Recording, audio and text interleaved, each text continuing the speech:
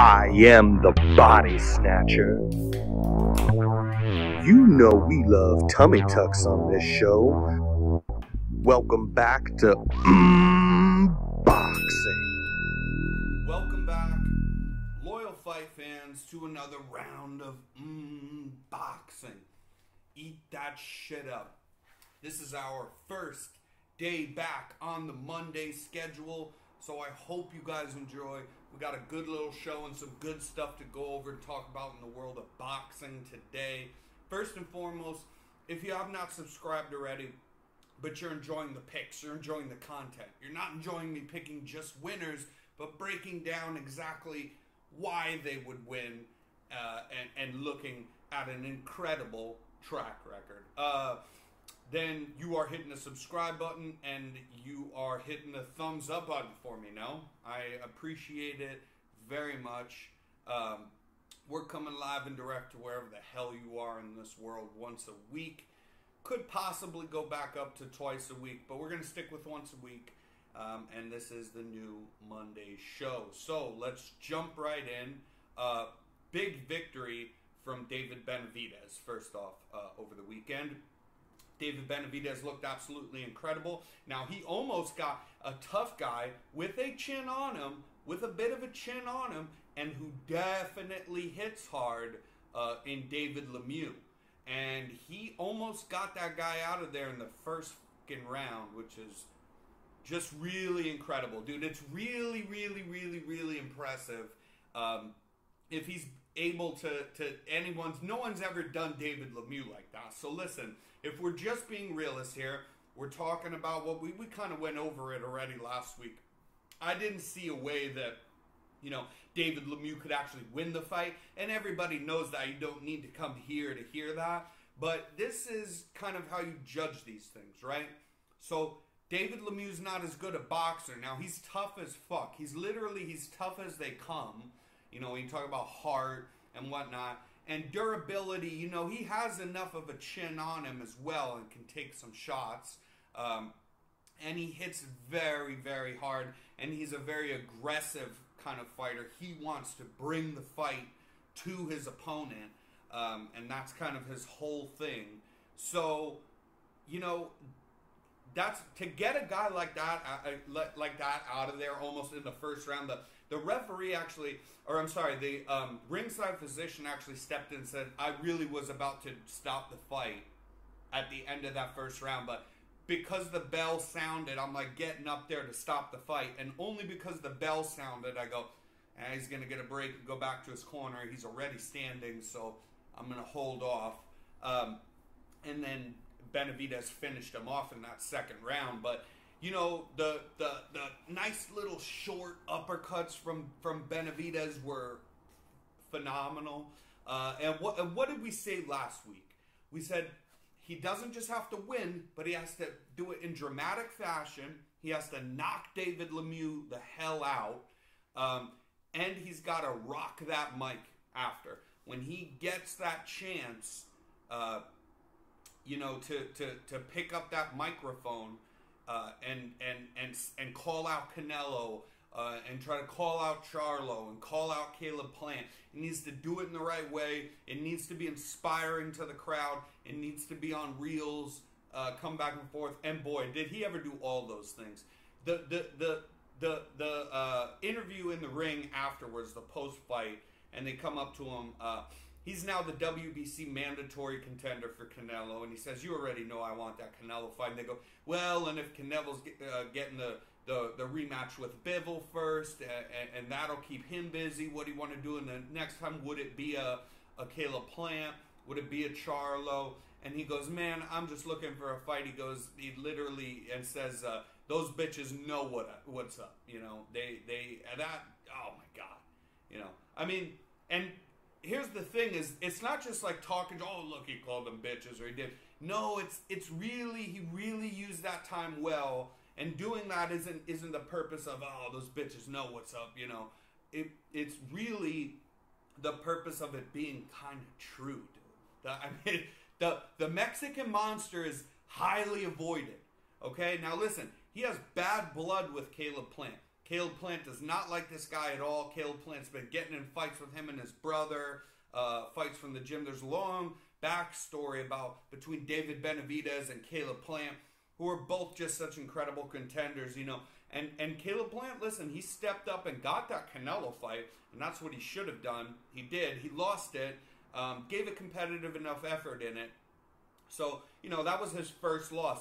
That's a perfect uh, match to make, man. And I don't see why it's not being made. I'm not sure what in the hell Caleb Plant is busy with these days. Um, I want to see him in Benavidez. That's actually the fight I want to see. Because Canelo is going to get the Bivol rematch whether we like it or not, whether you agree with him, you know, whether you're a fan of his and you think that's maybe not such a great idea, kind of along the lines of where I stand with it. But he's doing that nonetheless because God bless him. He's Canelo and he's just to, he's not to uh, take that loss and move away from it and go back down. Like, might be smart for him to do. He's to just do that again um, and try to win. So so God bless him. But he's he's busy. So what the hell is and then, and then listen, Charlo, at least you know uh, Jermall Charlo, you know they, they they could make that fight right, or they could make the Caleb Plant fight. What what are those guys doing that they're not fighting David Benavidez? I don't know. I don't know, but I want to see those fights. Um, those are great fights, and especially listen, man Canelo, you know, he's going to be boxing for a little while, but he's undisputed at that weight class. At some point, he will need to come down there and defend those belts. He's WBC mandatory, so what that really means is they could pay him some step aside money so he can keep that belt too. Uh, and not have to defend it. But that's like for this one go around. They do things per fight. So you're taking the Bivol rematch. You're gonna have to Benavidez getting paid because you're not setting up a match with him unless you say to the WBC, you know, I'm gonna, I'll, I'll come back down, and the first person I'll fight is your mandatory uh, for David Benavidez. You know, down at uh, at that weight class. But first, you know, before I go to 168, I'm I'm gonna try to do my thing up here at 175 again against Bivol. And win or lose, I'll come back down defend the belt. I don't know where to go, but there's nowhere to go except at some point Canelo, Charlo, or uh, um, uh, Caleb Plant.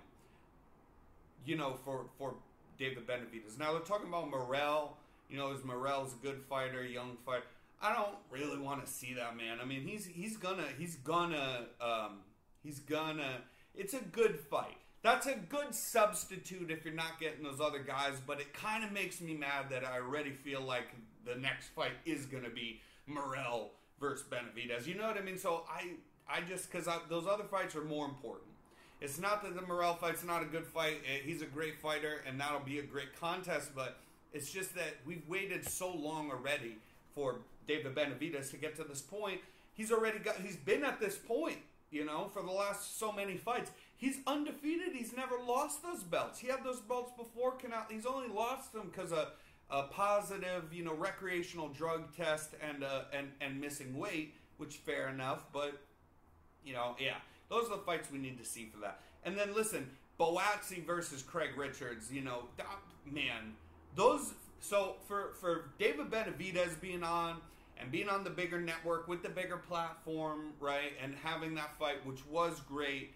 Uh, you know, Buatsi Craig Richards really flew under the radar. It really flew under the radar. Now I did touch on it last week and said that's a good test. That's close enough to more so to a 50 50. like even the odds weren't staggering but they didn't they still didn't reflect how good of a competition that would be however and i knew that i knew it would be competitive but what we didn't know is if it would be competitive more of a of a in in more of a boring to a casual kind of eyes uh, way where it's boxing where you got to appreciate the movements in there and you got to appreciate scoring for rounds and saying, "Well, being fair, that's this way, that's it," and and that it would end up competitive in that way. Um, versus an exciting competitive fight, which is what we got. Those guys went to war over the weekend, uh, and it, it, just. I mean, a boxing fan, a casual, and anything. If you watch the two the two fights, you know, if you watch David Benavidez uh, versus David Lemieux, or you watch Buatsi versus Richards, you can't come away telling me that the two round domination uh, that was almost one round was better. Uh, you can say better performance from the star of the show, but you you know that that uh, Buatsi Craig Richards fight was absolutely phenomenal. You guys got to go check that out for sure. Uh, little controversial as well because there's some people saying that maybe Craig Richards should have won that fight. Now, listen, I don't agree with that at all. I think that Buatsi did win that fight, but I'm here to tell you, I I kind of see what you're saying, but you do need to have some criteria in general, and it doesn't matter what you favor. Uh, a little bit, but not really. You got to have just because because because real close fights can get dicey. This wasn't even that real close, I don't think, in my eyes. I like a guy that you know can hurt his opponent. I like a guy whose shots are very clean, and then uh, to to so he can he can land less even. Now, in the overall score of this thing, you know, in the in the in the uh, in the in as far as um, shots landed, Buatsi outstruck you know Richards, but uh, that didn't seem like maybe what was going on. David Buatsi hurt Richards in almost every round, certainly those early ones. You know, round one opens up, and Craig Richards actually looks like he's in command of the fight and he is using his jab. He's moving well, uh, and he is boxing, tying up when he's close. They're get or or sometimes Buatsi would honestly tie up when he got close, and I don't know why, but uh, you know the the first round looked like man, Craig Richards is winning this dude. There's only like 30 seconds left, um, even maybe 15 seconds left of that first round, and Buatsi hurts Richards so visibly, so you know that you have to give him that round you have to because he was never hurt. It, it's pitter patter, you know, jabs and stuff that's landing on him, jabs, straight, in. A little bit of body work when, when, when, when tying up also on the inside for Richards. But nonetheless, he was winning that first round until Buatsi hurt him at the end. Second round, a little bit more of the same. Buatsi hurts him a little bit earlier, but besides that, uh, it would have been a Richards round if you take that one little swing of momentum away. Um, but it is what it is. And then you know, Buatsi has a huge third round, right? And then uh, the fourth and the fifth. The fifth's a little, a fourth is good for Buatsi. The fifth's a little tighter. I still give that to. So he's really, in my eyes, Buatsi was running away from this fight. He stole some of those uh, later ones as well, and I thought he won the fight. But Craig Richards, even in rounds that Craig Richards lost, most of these rounds are basically Craig Richards landing enough. You can see what he's trying every round. I, I do feel frustrated for the guy because I thought he lost the fight, but I do understand that you know everybody has a game plan, and if you come up real like if you're trying this round after round and you're handedly losing some rounds, but you have some success, you know, in some rounds, it's it's simply not good enough. But what is hard to see is a guy like Craig Richards that had success in every single round times. You know, he he's the one that made this a war and made it where he told Buatsi basically, I'm not going to let you steamroll me. Um, and and most of these rounds were very competitive. So, uh, they, it, but you just got to look at the swings of momentum.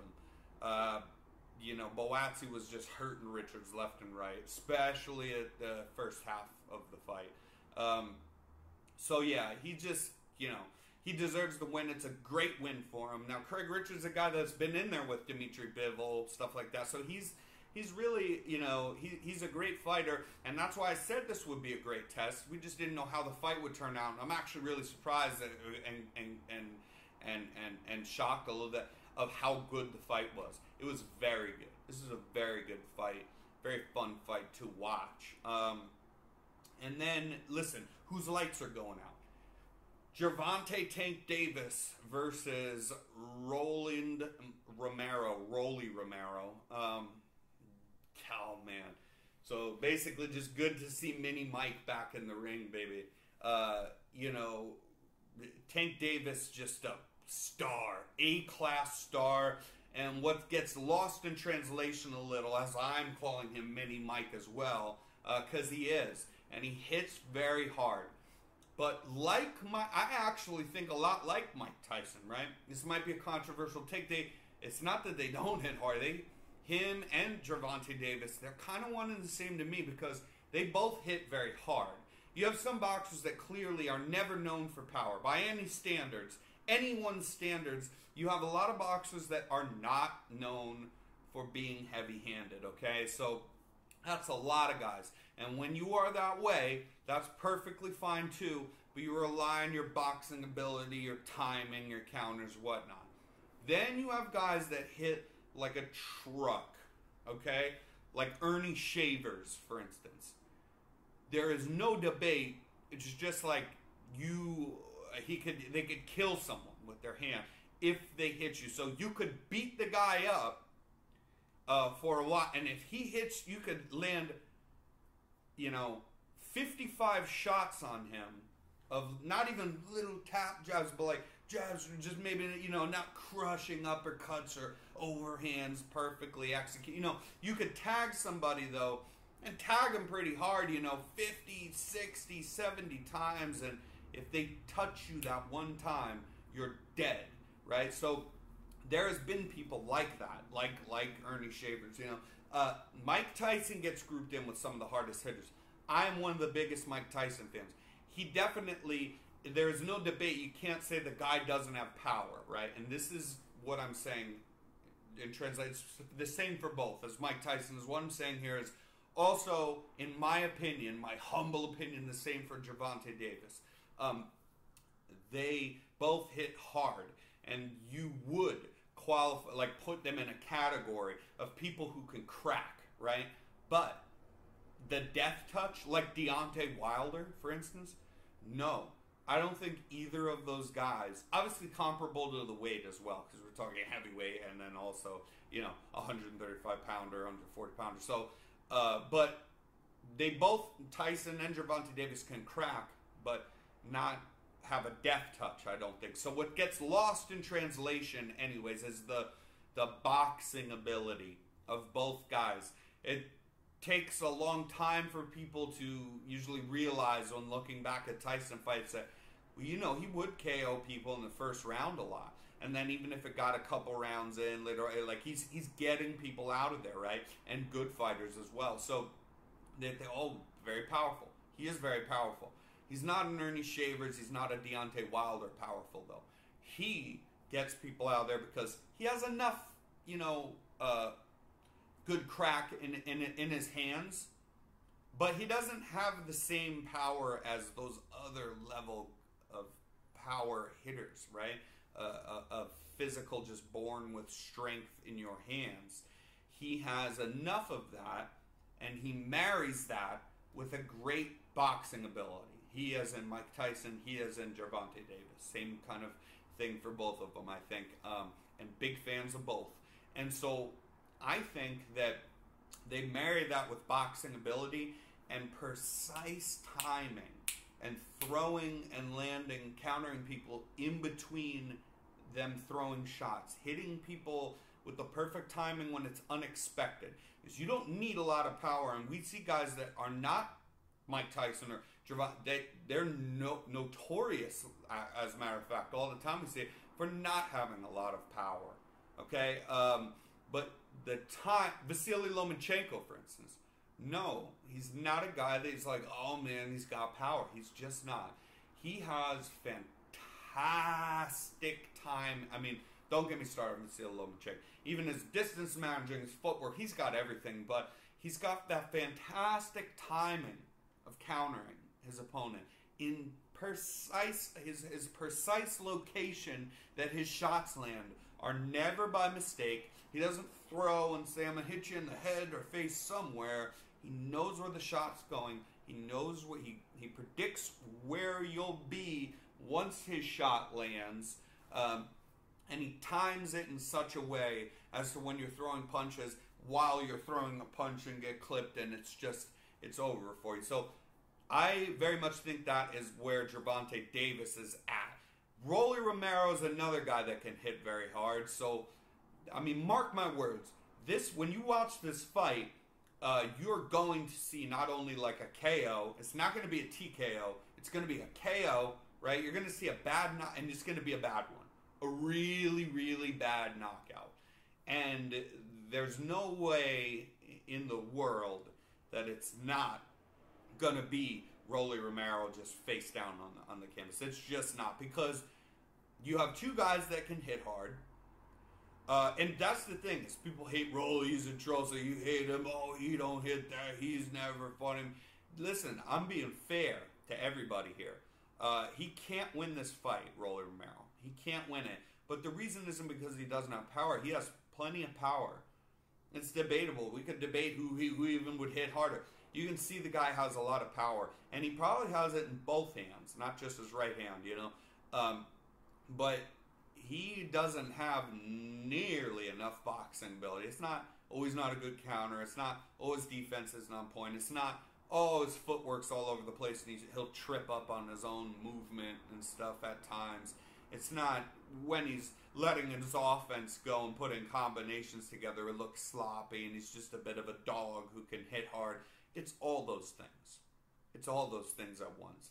And then you're dealing with a guy in Gervonta Davis that don't be fooled of what you've heard. He doesn't just hit hard. He's he's he's just as good as, if not more so, should be recognized for his boxing ability. Um, and you're gonna see that. You're fucking. You're gonna see that. And whose lights are going out? It's gonna be Rolly Romero. I don't see this fight making it to the fifth round. I don't. Uh, I would be amazed if it does, and I would bet my fucking life savings and everything I've earned in life um, that, you know, Rolly Romero gets KO'd at this point. But if you look for the over under, it's probably like three rounds, for fuck's sake. Because I'm going to be a little safer and tell you this fight doesn't see the fifth. Um, and yeah, we're going to sit back and enjoy. Uh, it is great. It is exciting. Let me tell you, as a boxing fan who knows that Rolly Romero can't win this fight, that fucking guy has been just priceless in selling this thing.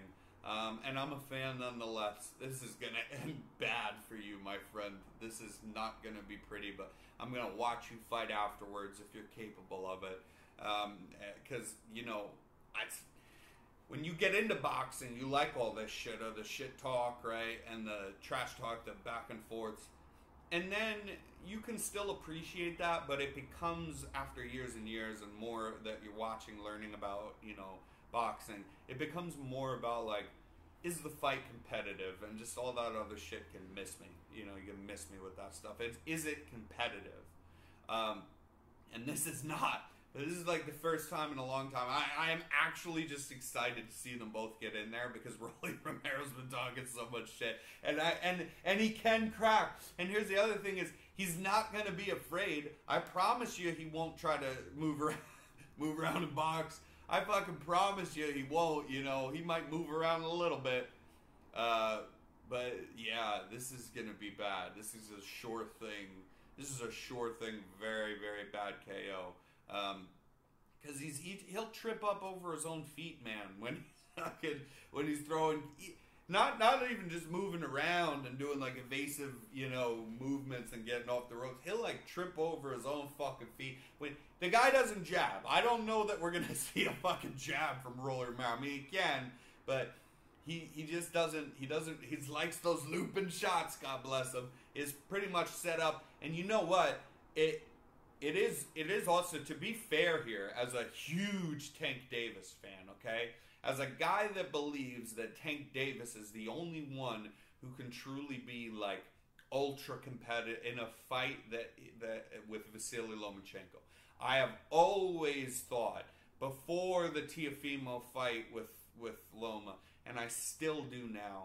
I have always thought throw out Devin Haney, throw out Ryan Garcia. And I don't want to disrespect George Kambosos because I fucking like that guy. And he is a dog of a human being. But as far as just real talk and who's the best 135er, is it the best weight class in boxing possibly, you got two guys. It's Tank Davis and it's Vasily Lomachenko. So I'm a huge Tank Davis fan, but you know, before we wrap this thing, I do want to be fair on all angles here. Um, just to say, you know, I I think that being fair, this is, I have to tell you guys, this is Showtime uh, doing its Showtime thing. This is Al Haymon and Floyd Mayweather doing their thing where they feed somebody to Rolly Romero, and then you reach a level where you can't have guys you never heard of. So now it is at a point where we get a guy that you know you should have heard of in Rolly Romero, who can promote the hell out of himself with the very best uh, who knows how to get under people's skin, things like that, uh, and, and, and to help. He's good for the promotion of this fight. He's good for making money in this fight. And then not only is he uh, easy enough win for Tank Davis to get, I, I presume, but also kind of like we talked about with the David Lemieux facing Benavidez thing, it's also like complete setup in ways where you're taking not just a guy. It's like oh, I have a better boxer, so my guy will win, you, you know, and, and put him against somebody.